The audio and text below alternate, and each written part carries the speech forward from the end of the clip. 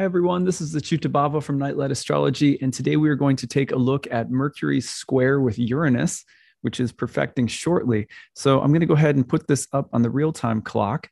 This is actually a preview of the Sun's upcoming square to Uranus, which is happening just after the Sun has opposed Saturn and Mercury has opposed Saturn.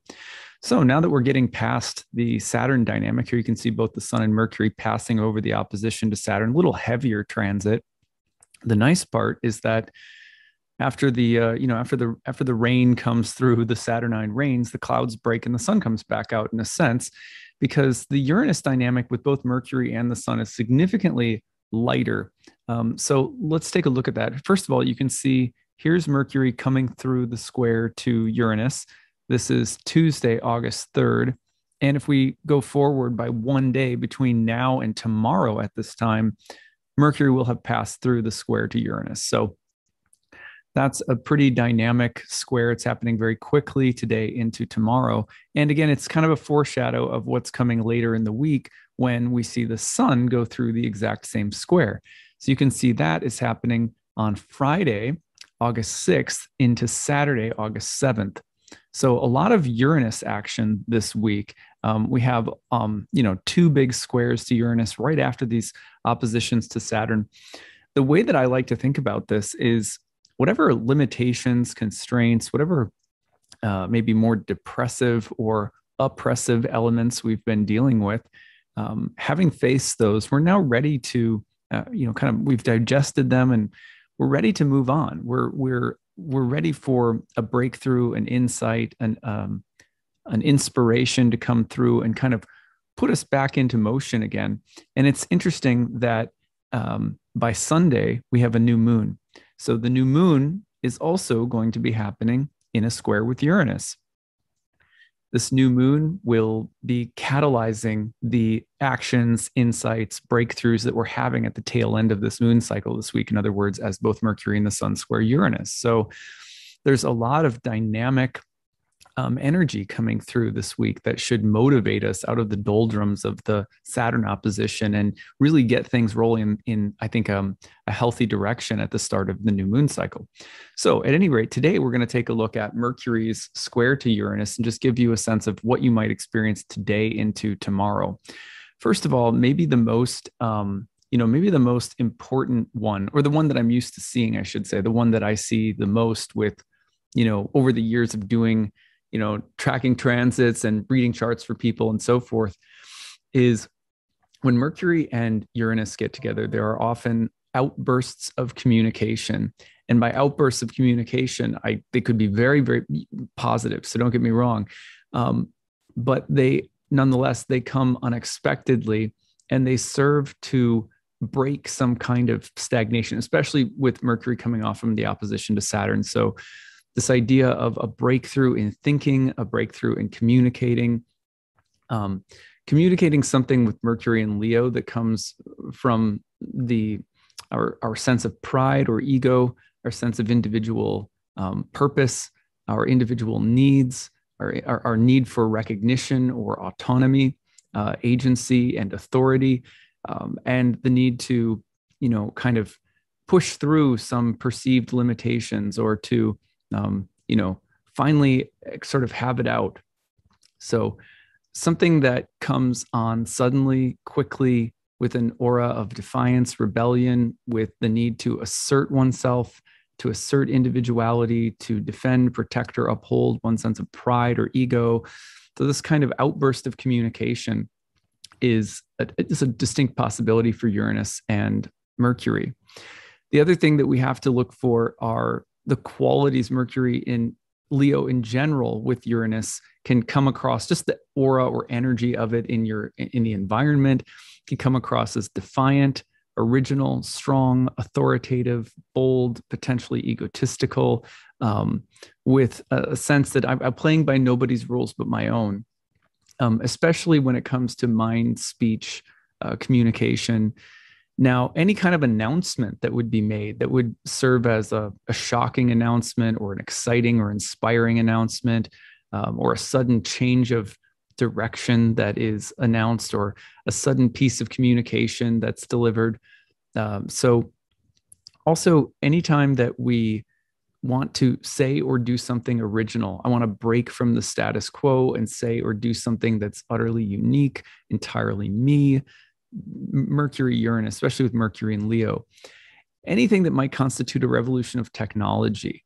Um, for example, um, you know, you have to replace a laptop or a cell phone, um, or you're getting one that's lighter weight, or you're getting one that serves a very particular purpose at work, or you know, maybe the in the workplace you're being given a new, you know, company, I don't know, tablet or something like that. Anything that could constitute a revolution in terms of how you're doing business, what kind of technology that you're using, um, anything also that would constitute a sudden decision a sudden snap, instant, okay, not going to do this, I'm going to do that.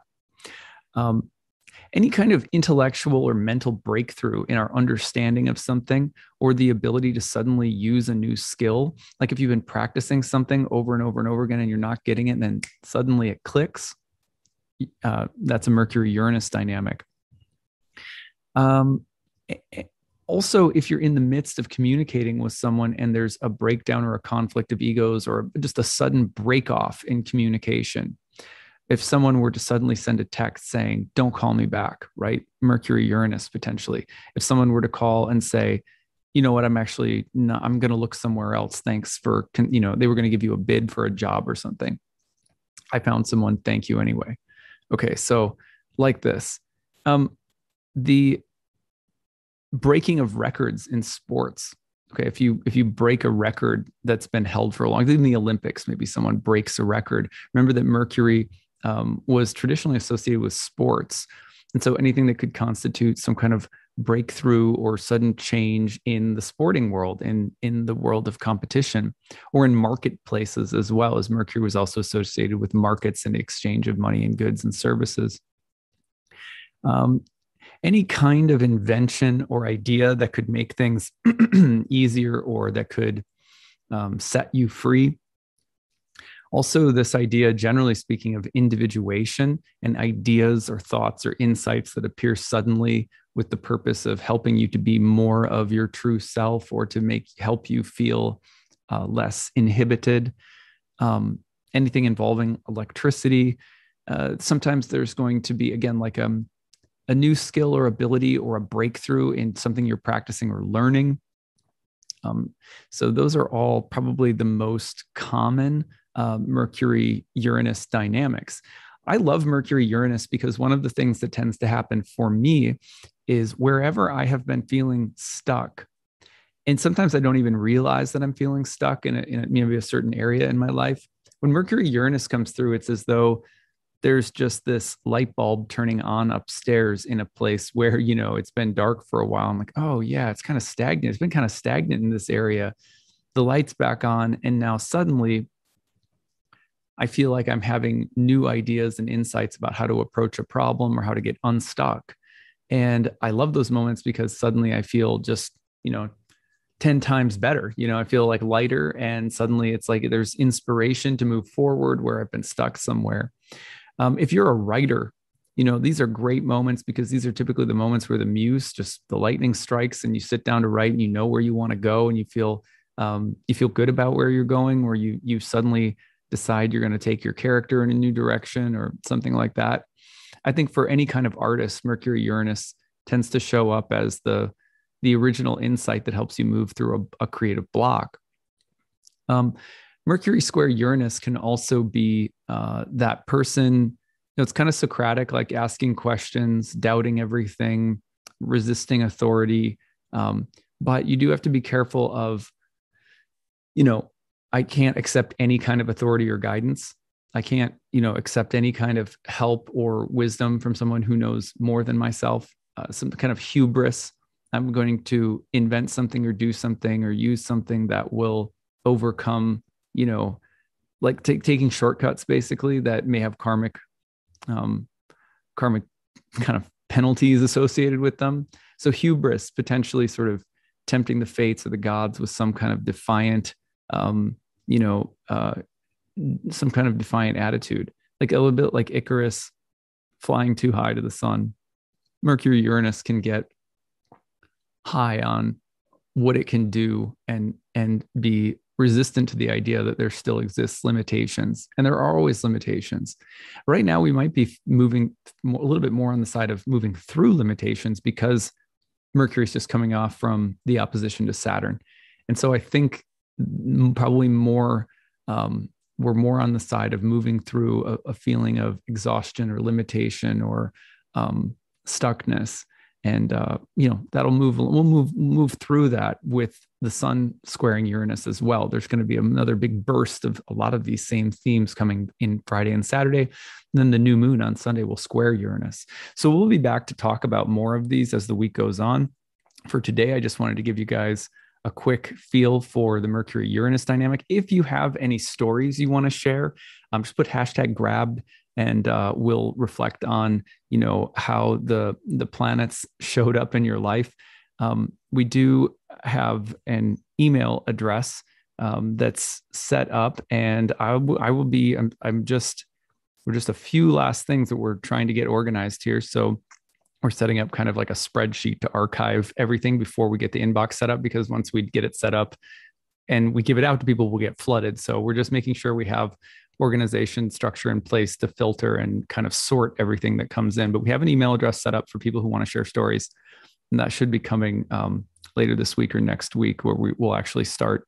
Um, I'll start doing videos where I share some of your stories. We have some really good ones that have been some really like I just have to laugh because some of them are so absurd. It's like you can't make this stuff up. Anyway, thank you guys for sharing yours. Put hashtag grab if you have a story. Tell your story if you don't mind us sharing it uh, how have these tra- make sure you include the transit combination like mercury uranus so that we know which transit you're talking about okay that's what i've got for today we will see you guys again tomorrow take care everyone bye